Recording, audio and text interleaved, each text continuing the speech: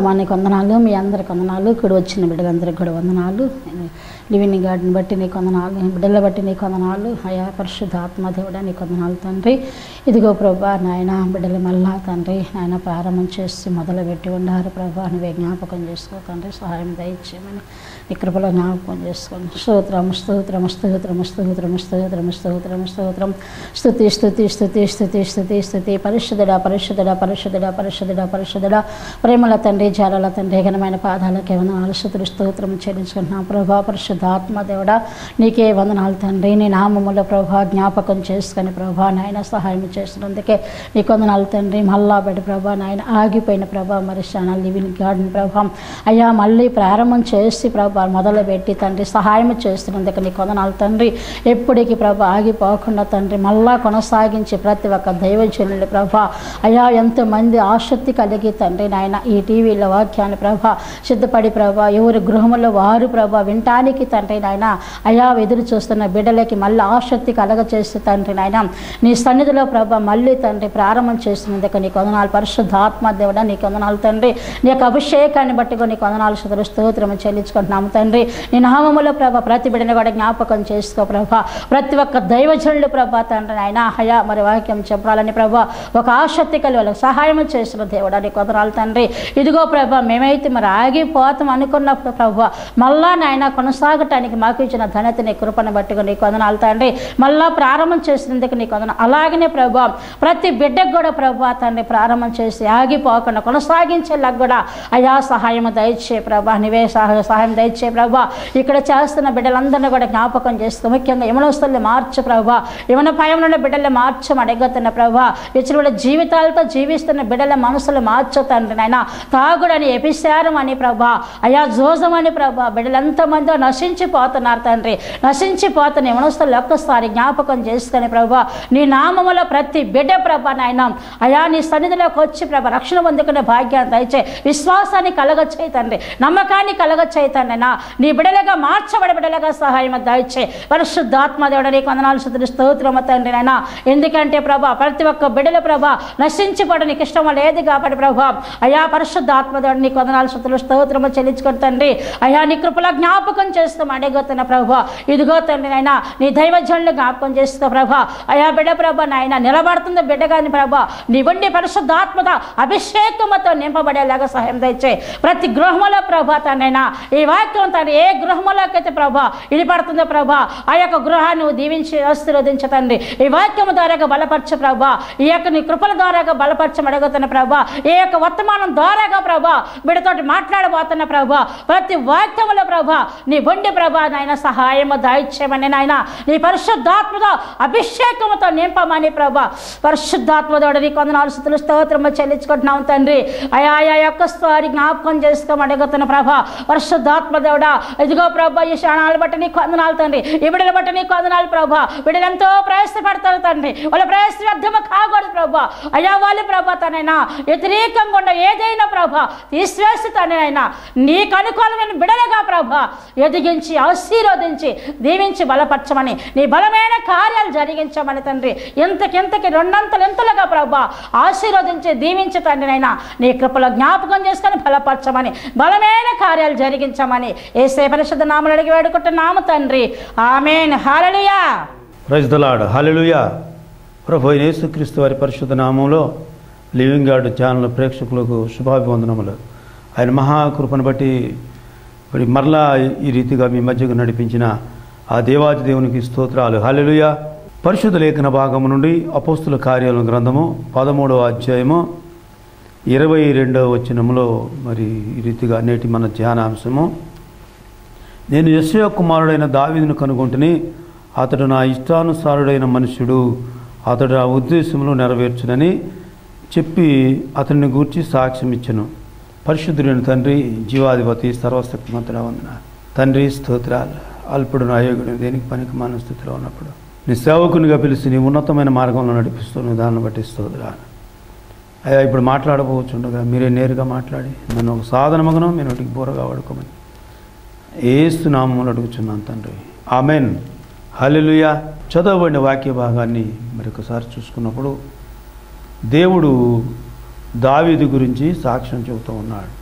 నేను యశ్యా కుమారుడైన దావీదును కనుగొంటని అతడు నా ఉద్దేశములను నెరవేర్చువాడు.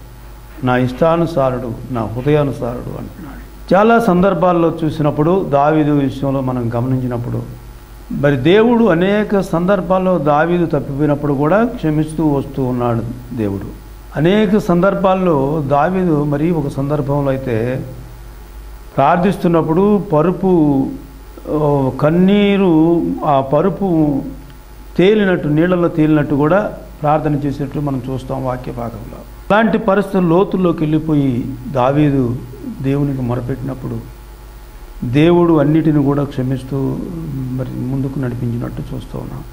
చదవబడిన వాక్య భాగానికి ఇంక ముందు వచనంలో ఇరవై ఒకటో వచనంలో చూసినప్పుడు సౌలుని రాజుగా ఉన్నప్పుడు సౌలును దేవుడు తరువాత వారు రాజు కావాలని కోరగా దేవుడు బెన్యామిన్ గోత్రుడు కీసు కుమారుడైన సౌలును వారికి నలభై ఏండ్ల వరకు దయచేస్తున్నాడు దేవుడు ఆది కాలము నుండి చూసినప్పుడు ప్రజల పట్ల ఎంతో ప్రేమ కలిగి ఆయన యొక్క ఉద్దేశాన్ని కలిగి ఉన్నాడని మనం ఇక్కడ గమనిస్తూ ఉన్నాం.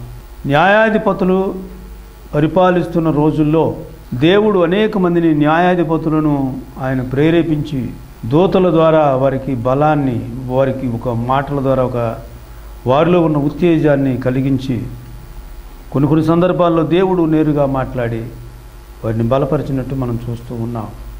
ఇక్కడ న్యాయాధిపతులు సమయలుతో అంటున్నారు మాకు రాజు కావాలను ఎందుకంటే నీ కుమారులు నీ వంటి వారు కాదు. నీ కుమారులు నీ వంటి జ్ఞానం కలిగిన వారు. నీలాంటి ఆత్మకార్యములు జరిగించేవాడు జరిగించేవారు కారు కాబట్టి. మరి నువ్వు వృద్ధాప్యంలోకి వచ్చావు కాబట్టి మరి మాకు రాజు అవసరమై ఉంది. ఎందుకంటే మా పట్ల అనేక ప్రాంతాల్లోకి వెళ్ళి యుద్ధాలు చేసి మమ్మల్ని రక్షించడానికి మాకు రాజు కావాలని చెప్పి ప్రజలు కోరుకున్నట్టు చూస్తూ ఉన్నా. దేవుడు మరి ఆ సమయంలో సౌలును రాజుగా ఏర్పాటు చేసినట్టు చూస్తూ ఉన్నా. సౌలుని రాజుగా ఏర్పాటు చేసినప్పుడు ఇక్కడ దావీదికి సౌలుకు ఉన్న తేడా ఏంటంటే సౌలు మూడు పర్యాయాలు కూడా మరి దేవునికి వ్యతిరేకమైన పనులు చేసినట్టు చూస్తూ ఉన్నాం. మూడు తప్పులు చేశాడు సౌలు. ఎన్నో ఉన్నాయి కానీ మనం చూడటానికి అంటే దావీదు చేసిన వాటిల్లో సౌలు చేసినవి తక్కువే. దావీదే ఎక్కువ తప్పులు చేసినట్టు మనం కనపడుతూ ఉన్నాడు. అయినప్పటికి కూడా ఇక్కడ చూసినప్పుడు సౌలు చేసిన పొరపాటులో మొట్టమొదటి అమాలేకుల మీదకి వెళ్ళి మరి వాళ్ళ దగ్గరికి వెళ్ళి నువ్వు ఆ అమాలేకులు వారిని అందరిని కూడా సంహరించి వారి పశువుల్లో కానీ మరి ఏమి కూడా మిగలటానికి లేదు మొత్తాన్ని సంహరించి రమ్మని చెప్పి దేవుడు సౌలుతో చెప్పినప్పుడు సౌలు ఆ అమాలేకులు రాజును హగగు రాజును తీసుకొచ్చి బంధించాడు. ఎందుకంటే ఒక రాజు ఇంకొక రాజును బంధించడం అంటే గొప్ప కార్యం అన్నట్టు రాజు ఈ రాజు ఆ రాజును బంధించాడని చెప్పి అనేకులు చెప్పుకుంటారు అనేక దేశాలని. ఒక గొప్ప కోసం హగగు రాజును తీసుకొచ్చి ఇంట్లో బంధించినట్టు చూస్తూ ఉన్నా. మరి మంచి మంచి పశువుల్ని తీసుకొచ్చి జీవాలను తీసుకొచ్చి గొర్రెలు గుడ్లు తీసుకొచ్చి ఆ దొడ్లో ఉన్నప్పుడు సమయాలు వచ్చి అంటున్నాడు నువ్వు అవివేకం పని చేసావు అంటున్నాడు. సౌలు అంటున్నాడు అప్పటికి కూడా నేను దేవునికి ఇష్టమైన పని చేశా కదా అని అంటున్నాడు.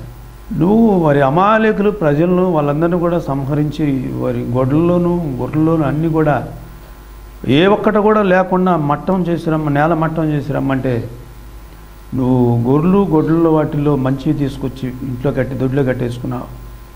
ఆ రాజును తీసుకొచ్చి బంధించి ఇంట్లో పెట్టుకున్నావు. ఇది దేవునికి ఇష్టమైన పని కాదు.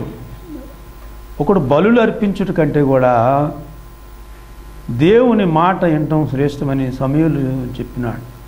మరి దేవుని దగ్గర సవులు పశ్చాత్తాపడ్డట్టు మనకు అక్కడ కనపడటం లేదు.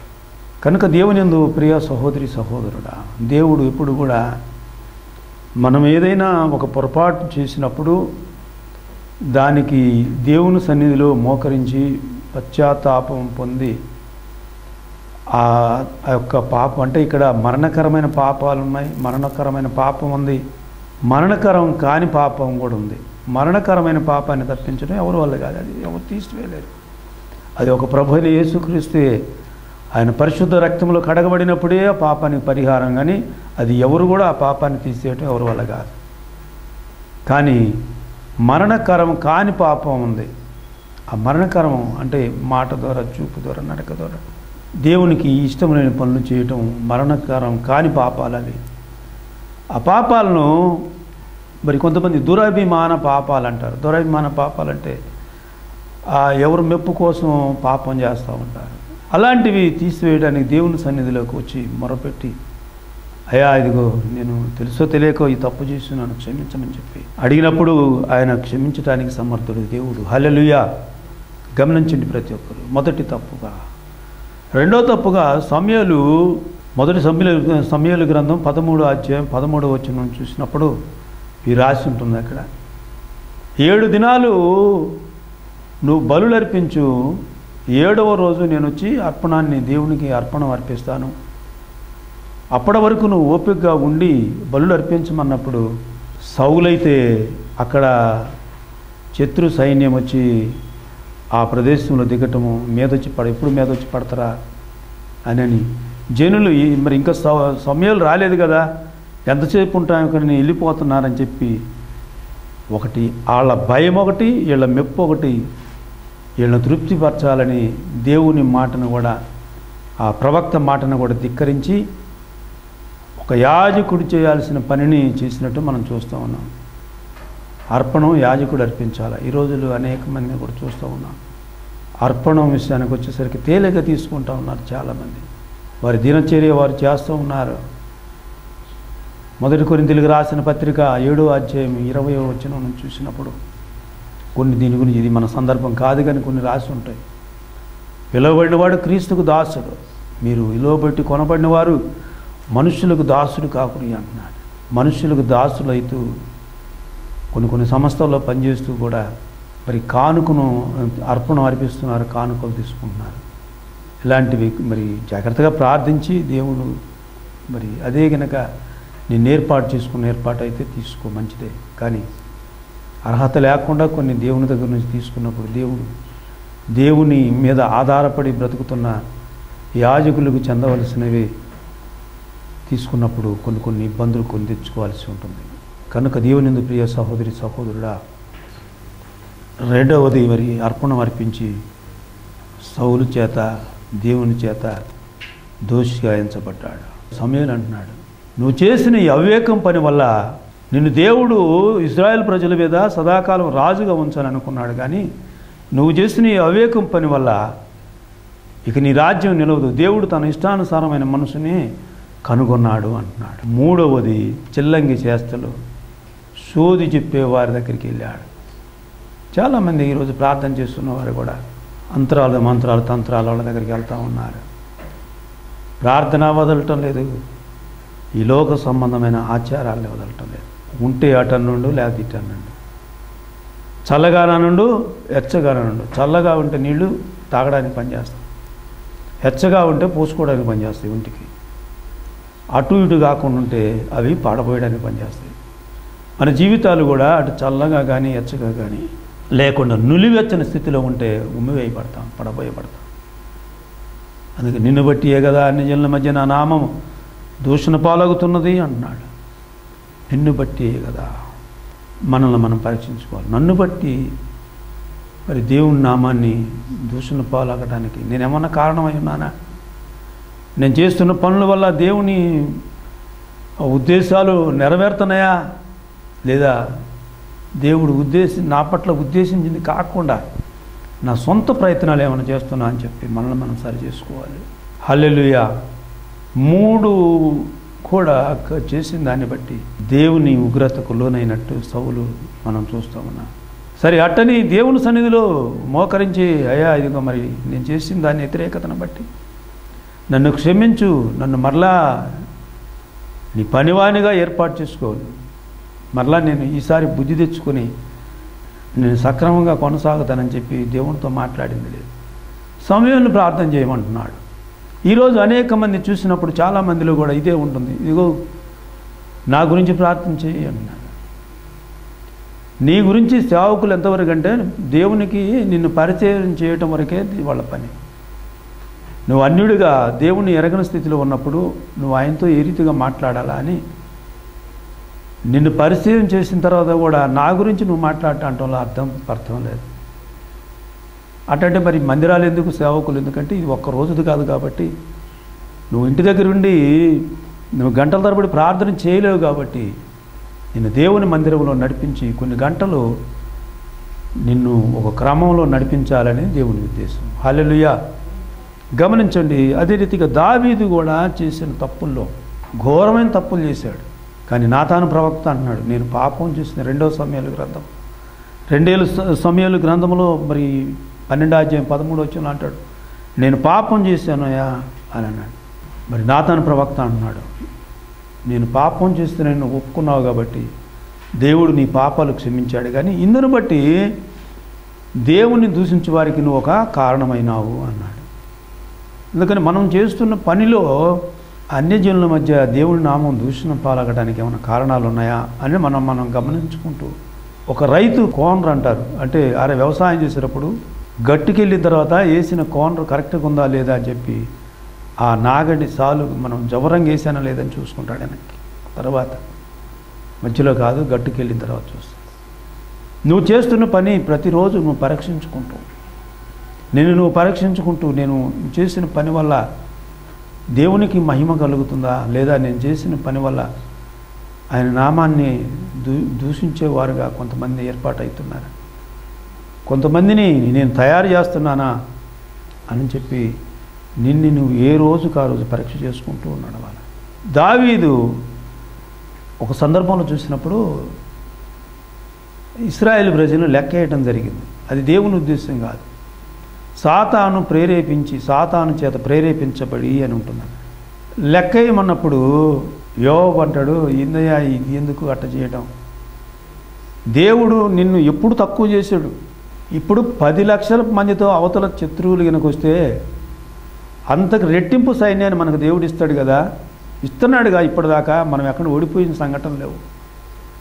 నీకెందుకు ఇలాంటి దుర్బుద్ధి పుట్టింది? విపరీత బుద్ధి అంటే దుర్బు చాలామందిలో విపరీత బుద్ధి అంటారు. మనది కానిది ఆశించడం విపరీత బుద్ధి అంటారు దాన్ని. దుర్బుద్ధి అంటే అర్థం ఏంటంటే మనది కానిది ఏదైనా సరే మనం ఆశించడం దుర్బుద్ధి అంటారు. మనకు అన్నీ ఉన్నప్పుడు కూడా ఎదుటివారిది ఆశించటం ఆశించడం అనేది విపరీతమైన దుర్బుద్ధి అది. కనుక దేవుని ఎందు ప్రియ సహోదరి సహోదరుడా ఇక్కడ దావీదును చూసినప్పుడు సైన్యాన్ని లెక్కేయాల్సిందే అన్నాడు. సైన్యాన్ని లెక్కేసినందుకు దేవుని ఉగ్రత దావీదు మీదకి వచ్చినట్టు చూస్తున్నాం. గాదు ప్రవక్తను పంపించి ముగ్గురు మూడు విషయాలు. దావీదు దావీదు మూడు విషయాలను బట్టి ఇదిగో నేను మరి దేవుడు నన్ను పంపించాడు. మూడు విషయాలు నేను నీతో అంటున్నాను. ఈ మూడు విషయాల్లో ఏదో ఒక దాన్ని కోరుకో అని చెప్పి అన్నప్పుడు దావిదంటాడు అయ్యా మరి ఎవరి చేతిలో ఎందుకు పడాలా? ఆయన చేతిలోనే నేను పడతాను నేను. అని చెప్పన్నాడు దేవుడు మరి ఆ తప్పును కూడా మరి ఆయన ఉగ్రతను కూడా ఆపుకున్నట్టు చూస్తూ ఉన్నాడు. మోకరించాడు ప్రార్థన చేశాడు. దూత నరుక్కుంటూ వస్తున్నాడు రాజ్యం మీద పడి. మోకరించి కన్నీళ్ళు గార్చి అయ్యా ఇది నా తప్పును బట్టి మరి వారు బలైపోతున్నారు అమాయకులు. నన్ను క్షమించని చెప్పి మోకరించాడు. మోకరించి ప్రార్థన చేసినప్పుడు దావీదును తప్పును దేవుడు క్షమించాడు. అందుకే దావీదును నా ఇష్టానుసారమైన మనుషుడు అన్నాడు. నా హృదయానుసారుడు నా ఉద్దేశంలో నెరవేర్చగలిగిన వాడు. ఒక ఇంజనీరు ఒక బిల్డింగ్ కట్టాలన్నప్పుడు దాన్ని ఒక ప్లాను వేసుకుని ఒక మ్యాప్ గీసుకొని ఆ మ్యాప్ ప్రకారంగా కట్టుబడి కొనసాగిస్తూ ఉంటాడు. ఆ కట్టుబడి చేసేవాళ్ళు ఆ ఇంజనీరు ఏది చెబితే ప్లాన్ ఇస్తే ఆ ప్లాన్ ప్రకారం చేసినప్పుడు ఆ బిల్డింగు మంచి ఉద్దేశంతో కట్టిన బిల్డింగు అది ఎవరైనా చూసినప్పుడు ఆశ్చర్యపోతారు చూసినప్పుడు. ఇంత ప్లాన్గా కట్టగలిగారు. ఈ బిల్డింగ్ కట్టిన ఇంజనీరు గొప్పవాడు అంటారు. అందుకనే మన బిల్డింగ్లు అనగా మనమే మోసే అంటాడు తుదమట్టుకు ఎబ్రిల్కి రాసిన పత్రిక మూడో అధ్యాయంలో రాస్తాడు. తుదమట్టుకు కనుక మనం జాగ్రత్తగా కొనసాగితే మనమే ఆయన ఇల్లు అని అంటున్నాడు. మనం ఆయన ఇల్లుగా మరి మోస చెబుతూ ఉన్నాడు. హల్లెలుయా. గమనించండి ప్రతి ఒక్కరు కూడా ఎలా నడుస్తూ ఉన్నాం మనం? ఎలా కొనసాగుతూ ఉన్నాం? దేవుని ఉద్దేశాలు నెరవేర్చు వారిగా ఉన్నామా? లేదా మన సొంత ఆలోచనలతోటి దేవునికి వ్యతిరేకమైన కార్యకలాపాలు చేస్తూ పేరుకు ప్రార్థన చేసేవారిగా. ఈరోజు అనేక మంది మరి నెట్లో ఇటులో చూపించగలుగుతున్నారంటే కారణం ఏంటంటే ఎక్కడో బలహీనత ఎక్కడో బలహీనత చోటు చేసుకొని మరి ఉందని నేను భావిస్తూ ఉన్నాను. అందుకనే దేవునిలో కొనసాగుతున్న మనందరం నేర్చుకోవాల్సింది ఏంటంటే దేవుని ఉద్దేశాన్ని నెరవేర్చేవారిగా. అందుకంటాడు రోమిలకు రాసిన పత్రిక పన్నెండు అధ్యాయం ఒకటి నుంచి చూస్తే సజీవ యాగముగా మీ శరీరాలు సమర్పించుకోండి మీరు ఈలోక మర్యాదను అనుసరించక. ఈలోక మర్యాద. ఈలోక మర్యాదలు వేరే ఉన్నాయి? అందుకనే ఎప్పుడు కూడా దుష్టుడు శరీరాశ నేత్రాశ జీవపు డంపం ద్వారాగా ఈ మూడిటి ద్వారాగా మనుషుని మీద ప్రయోగం చేస్తాడు. ఎక్కడొక్కడ పడిపోతూ ఉన్నాం. ఈ మూడిటిలో ఏదో ఒకటి ఏదో ఒక దాని విషయంలో పడిపోతూ ఉన్నా. పడిపోయి ఉన్నావా? ఈరోజే ఆయన పాద సన్నిధిలో మోకరించు. అయా మరి సాతానుడు వేసిన బాణం. యేసుక్రీస్తు మీద కూడా మూడు బాణాలు వేశాడు. ఆయన నలభై రోజులు ఉపవాసం ఉండి ఆ ఉపవాస విరమణ అయిపోయిన తర్వాత నలభై రోజుల తర్వాత నలభై రాత్రింబవులు ఉపవాసం ఉన్నాడు. ఆయన ఆకలి గొనగా అని రాసి ఉంటుంది లూకాసు వార్త నాలుగో అధ్యాయం.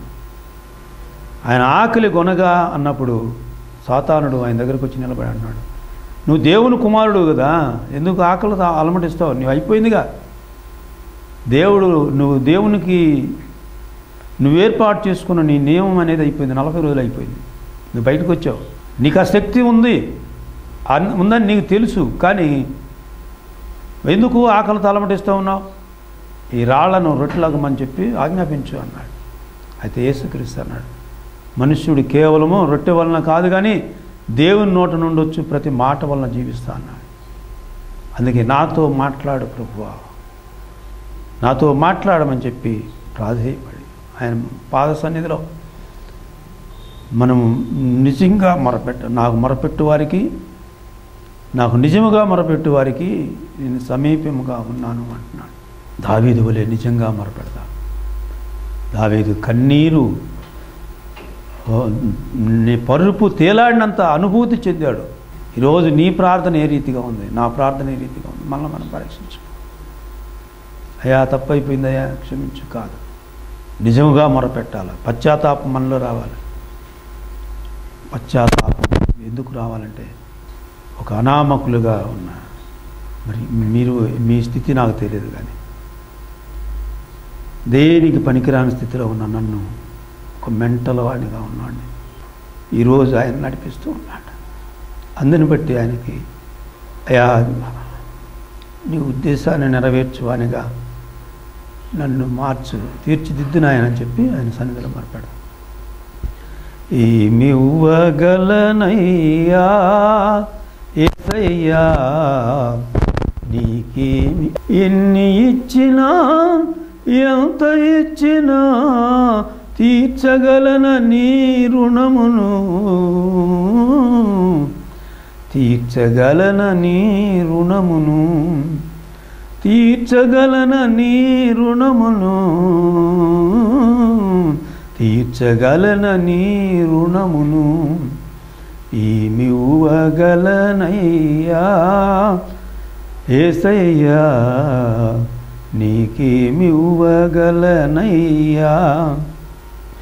క్రువ్వినా పోటేళ్ళను అర్పించినా విస్తార తైలము నీకు ఇచ్చిన నాకున్నదంతయో నీకు ఇచ్చిన తీర్చగలన నీ రుణమును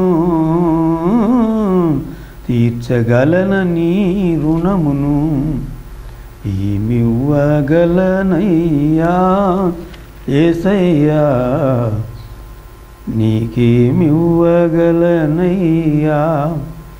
భ్రష్టుడనైనా నన్ను పిలచి మంచి పాత్రగా చేసినావు. ఉన్నతమైన సేవనిచ్చావు. తీర్చగలన నీ రుణమును. తీర్చగలన నీ రుణమును. ఏమివ్వగలనయ్యా ఏసయ్యా నీకేమివ్వగలనయ్యా. నా కోసమే సిలువనెక్కావు నా పాపముకై మరణించావు. నిత్య జీవము నాకు ఇచ్చావు తీర్చగలన నీ రుణమును తీర్చగలన నీ రుణమును ఏమి ఇవ్వగలనయ్యా? ఏసయ్యా నీకేమి ఇవ్వగలనయ్యా? నీవు ఇచ్చిన ఈ జీవితము నీ సేవకై అర్పించదను. నీకు సాక్షిగా నేను జీవించదను. నీకు సాక్షిగానే జీవించదను. తీర్చగలన నీ రుణములు. తీర్చగలన నీ రుణమును. హలెలుయ పరిశుద్ధుడైన తండ్రి జీవాధిపతి సర్వశక్తివంతుడా వందనాలు. దావీదు నా చిత్తానుసారుడు నా హృదయానుసారుడు. నా ఉద్దేశములు నెరవేర్చగలిగిన వాడని దావేది. ఆయన సౌలు భ్రష్టుడైపోయాడు. దావిద అంటే మనస్తత్వం కలిగి ఎప్పుడు కూడా నిరంతరం నీ సన్నిధిలో నీ పాద సన్నిధిలో నాయన కన్నీరు కార్చేవారిగా తీర్చిదిద్దండి. ఎవరైతే తప్పిపోయి ఉన్నారో వారందరినీ ఏసు నామంలో మరలా నీ సన్నిధికి చేర్చుకోమని నాయన బ్రతిమలాడుతున్నాను. అట్టి ధాన్యత ప్రతి ఒక్కరికి దయచేసి. ఎందరైతే ఈ మాటలు వింటూ ఉన్నారో వారందరికీ మేలు చేయను ఆయన. నూతన బలము నూతన శక్తి నూతన ఆరోగ్యాన్ని దయచేయమని ఏస్తున్నామూలు అడుగుచున్నాను తండ్రి. ఆమెన్. తండ్రి అయిన దేవుని ప్రేమ ప్రభు యేసుక్రీస్తు ఒక కృప పరిశుద్ధ ఆత్మ కన్యున్న సహవాసం లివింగ్ గాడ్ ఛానల్ యాజమాన్యానికిని ఇందులో పనిచేస్తున్న వారికిని చూస్తున్న వారికిని సకల పరిశుద్ధులకు సదాకాలం తోడైండి నడిపించునుగాక. ఆమెన్ అందరికి వందనాలు